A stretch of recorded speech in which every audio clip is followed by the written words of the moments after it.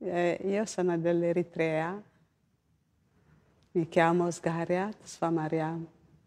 Ho vissuto anche già giù in Eritrea insieme agli italiani, quindi l'italiano sapevo già quando sono venuta in Italia.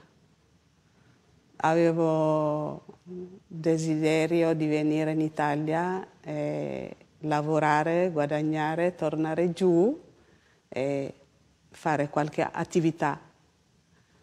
Però non è, non è andato così perché io sono venuta nel 75 e mentre ero lì è scoppiata la guerra e non abbiamo potuto tornare.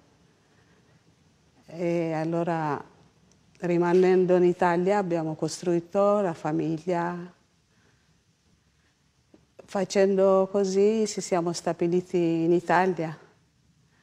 Quindi da una parte mi sento eritrea e da una parte mi sento anche italiana.